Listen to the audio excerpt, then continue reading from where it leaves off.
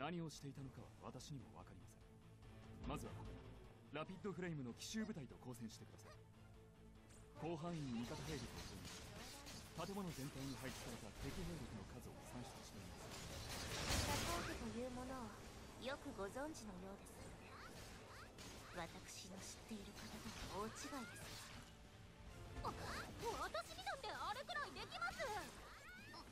もう少し勉強すれば。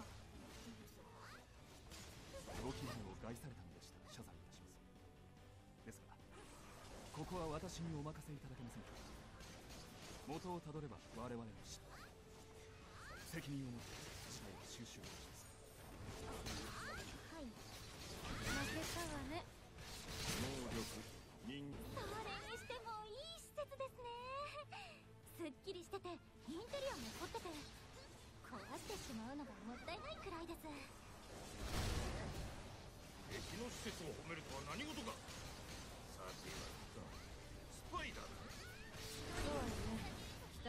金で建てられた建物よ。